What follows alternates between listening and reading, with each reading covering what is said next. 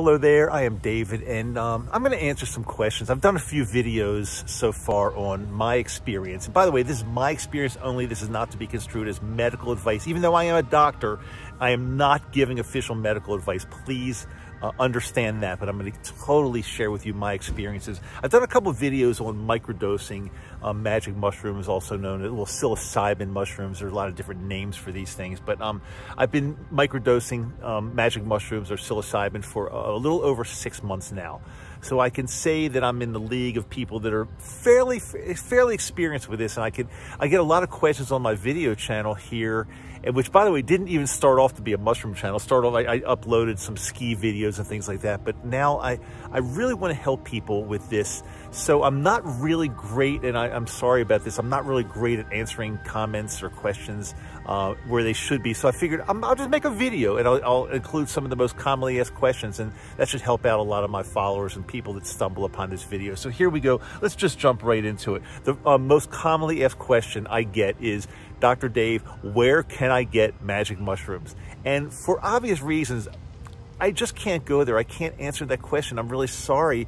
Um, in most, I'm in the United States. Um, in most places, still in the United States, they are illegal. So I'm, I do not want to get involved. I'm, I'm, using this as like a medicine for me, a sacred medicine. I'm willing to help you, but I do not want to get involved in even referring people to where you know where you can get. I just I just don't want to be involved on that level. So I'm really sorry. The only thing I can say is is just search, talk around, talk to um, younger people. They generally will know the answer to this question. I will tell you this though, if you're ever approached, if you're approached online by somebody that might have seen something in your in your uh, uh, comments or or or, or, um, or posts or anything like that that approaches you online and says I can I can sell you whatever you want generally stay away because they're, they're, they're usually scammers. I mean, not 100%, but I could say 95 to 98% scam, scammer potential there. So be very careful, stay away from those. Next question is, can I microdose when I'm taking an SSRI? And my answer is Yes, in most cases, yes. For those of you that are not familiar with it, that means SSRI, selective serotonin reuptake inhibitor. That is the type of medication that is usually referred to as like antidepressants, you know, the Lexapro, the Celexa, the Paxil, the, you know, those are generally SSRIs. Um, and they say a lot of times people will tell you not to microdose or not to use psilocybin when you're taking SSRI because the SSRI will kind of use up the receptors and, and so the psilocybin will not be effective. I find that not to be true at all. I am actually taking Lexapro, uh, which is an SSRI. I get total, total, total benefits from from uh, magic mushrooms. I, I, don't see any problem, in, at least in my case. I know everybody's different, but um, to give a blanket statement that if you're on an SSRI, you can't enjoy or can't utilize the benefits of magic mushrooms is just not true. Um, people will tell you be careful of serotonin syndrome, which is a when your body gets flooded with serotonin, but especially with microdosing, I just don't think that is going to be happening. I, I, again, I've been doing this for over six months now. I've experienced zero problems, not even close to a problem.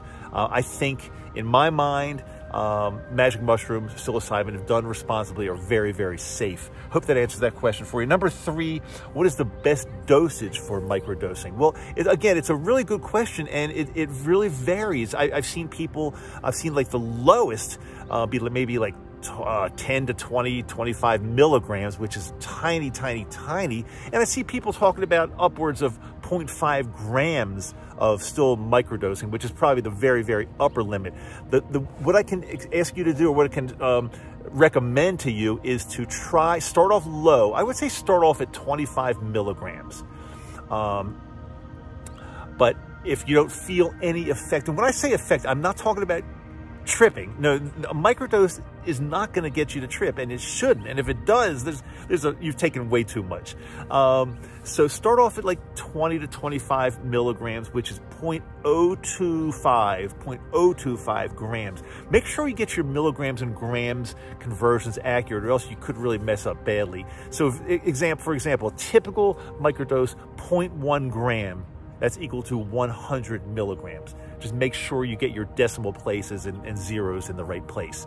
Um, start there, start at what I said, and then just inch your way up. Um, as needed. And when you start to feel like feeling some effects that might be too much for you, back yourself down a little bit. There's no real science to this, so that's the that's what I can offer. I generally microdose. My personal microdose is anywhere between 0.125 grams, and the high high end would be uh, somewhere around 0.4. That's that's like my range. But again, I'm probably on the higher range of microdosing. A lot a lot of people use 50 and 100 milligrams, which again 0.05 gram to 0.1 gram. That's pretty common, even 0.2 grams. So experiment yourself. There's no right, there's no wrong.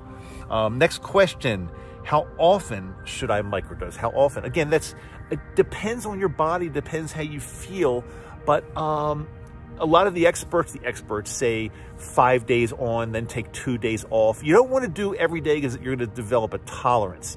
So um, a lot of times I've done, I've done the five days on, two days off. I've done three days on, one day off. I've done alternating days, one on, one off, one on. It, just get a feel for how it feels for you.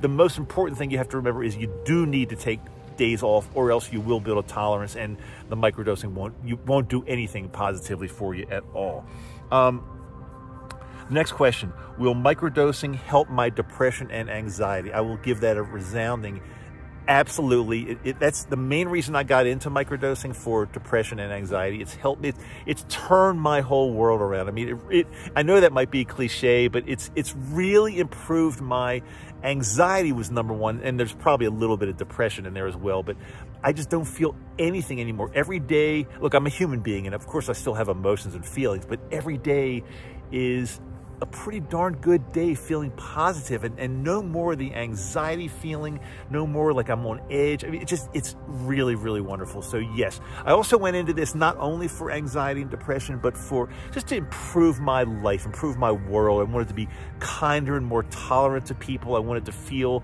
that I was relevant. I wanted to get more things done.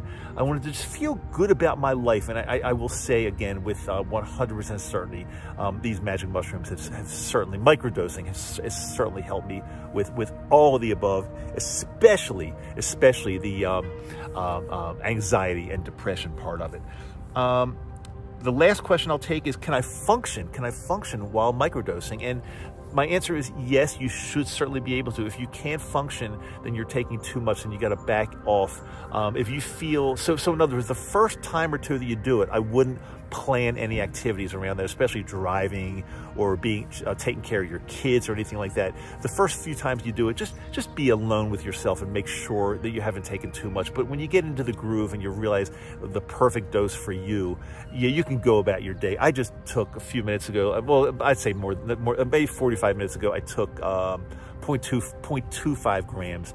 I'm feeling great. I'm feeling productive. I'm out in nature. I'm just, it's, but I can totally function. If somebody told me I had to drive a few hours to get somewhere, I could totally do that now with probably more uh, energy and uh, better perception than, than the average person on the road. I just feel like it really enhances everything. But again, you got to be careful because if you take too much, then you're going to get into like a, a, a trippy type thing, and that's I would not advise doing that. So again, these are all my personal experiences. This is not medical advice. This is my personal advice. I'm doing this to help people like you, but um, it's not to be construed as, as medical advice because let's face it, these things are still not legal in most places. But again, if it's a medicine that's going to really, really, really help my life, and it has so much, I can't be concerned about the legality. I don't have enough time left to worry about like I'm going to just sit sit back and wait until they're legal totally everywhere and, and approved for medical use because it may or may not happen and and my the time is ticking away. I want to I want to do it now to help my life. I hope this helped you.